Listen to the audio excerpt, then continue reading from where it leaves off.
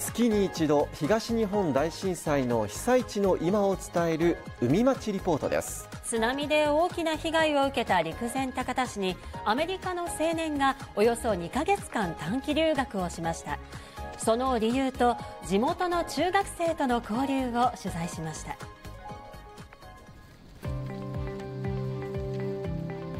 ケブさんがいらっしゃいました。はい、ナイスミートゥ Nice to meet you too. アメリカからやってきたゲイブ・ハワードさんです。6月にアメリカの高校を卒業した後すぐに陸前高田市を訪れホームステイをしながら市内の高校に短期留学をし高校生と交流しながら日本語を学びました。ゲイブさんのスマートフォンには陸前高田でできた友人の写真がいっぱいです。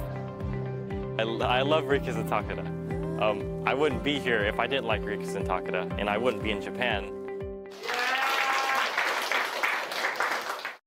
先月ゲイブさんは高田第一中学校に招待されましたこの日のために日本語の挨拶を一生懸命練習してきました私の名前はゲーブ・ハワードです。えっとあークレセントシティに住んでいます。あー9月にカリフォルニア大学に行くつもりです。日本に来られてとっても楽しいです。よろしくお願いします。しっかり伝わりましたゲイブさんも席に座り授業を受けます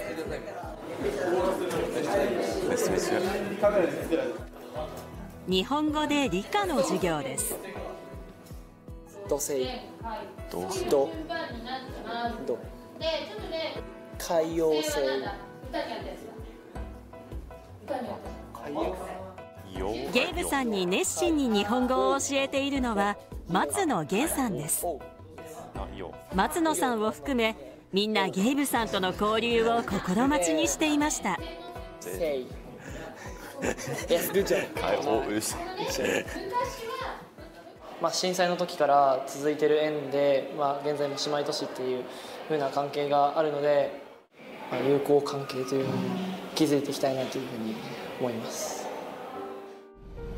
東日本大震災で1800人を超える命が失われた陸前高田市。大津波でこの海から流れ出た高校の実習船は2年間太平洋を漂いました。そしておよそ8000キロ離れたアメリカカリフォルニア州。人口およそ8000人のゲーブさんの住む町クレセントシティに流れ着きました。現地の高校生は船をきれいに洗いその後多くの人の協力を得て陸前高田に返してくれました。そのことがきっかけで陸前高田とクレセントシティは姉妹都市になり交流が続いています。ゲイブさんの父はクレセントシティがあるデルノーテ郡の議員です。2つの町の交流に力を尽くしてきた一人です。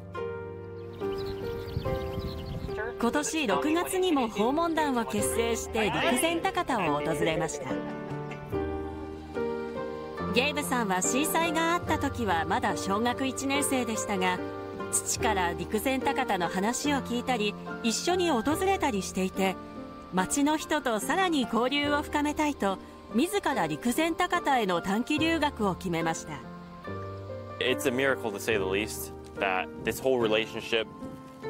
is built on the tsunami in a single boat that washed ashore in our town. With our student exchanges, uh, I believe that connecting with students, the kids, is much more important than adults because the kids are part of the future generation. 高田第一中学校でも交流を大切にしようとゲイブさんを招待しました。3年生のみんなは震災が発生した時はまだ23歳で当時の記憶はありません。しかし震災後悲しみに包まれたふるさとに親切にしてくれたクレセントシティのことは小学生の時に授業で勉強してずっと感謝の気持ちを持っていましたお願いします。英語の授業では陸前高田の生徒がクレセントシティについてもっと知るためにゲイブさんに聞きました What is the famous food in Crescent City?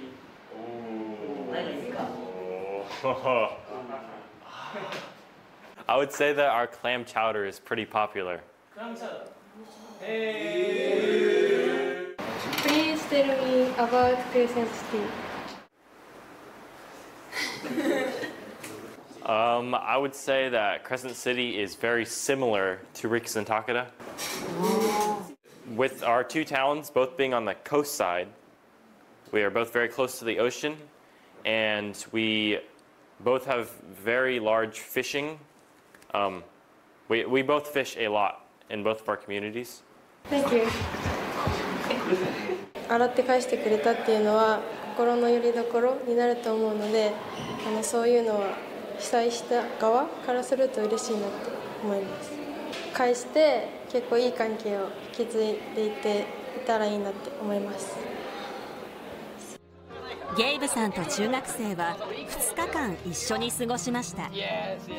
ゲイブさんは陸前高田の人と交流するために1年前から独学で日本語を勉強していますがスムーズに会話ができるわけではありません。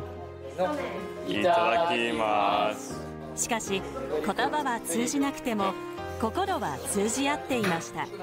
Mama. I, w- I wouldn't say I have any particular dreams for myself right now,